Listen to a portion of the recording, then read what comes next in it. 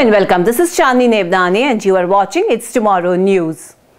Bomb cyclone buries St. John's, Newfoundland, delivers new snowfall record. Many residents of Newfoundland in US opened their doors on Friday and Saturday to find a wall of snow trapping them within their own home.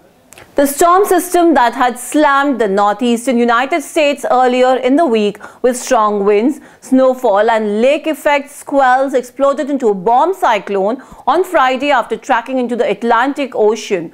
The storm set its sights on portions of Atlantic Canada. A bomb cyclone is a rapidly deepening low pressure area which has central pressure fall of 0.7 inches of mercury or more in a 24 hour period. The storm's barometric pressure crashed 1.21 inches of mercury within 24 hours. Blizzard and high wind warnings sprung up across portions of Atlantic Canada. Late on Friday morning, St. John's mayor declared a state of emergency ordering all businesses to close and all vehicles off the road with the exception of emergency vehicles. The worst conditions will be over the eastern half of Newfoundland, in particular the Avalon Peninsula and the city of St. John's. Snowfall at St. John's International Airport established a new all-time daily snowfall record of 76.2 centimeter, beating the old record of 68.4 centimeter set on April 5, 1999. These records began in 1942. St. John's East received a total snowfall of 82 centimeters.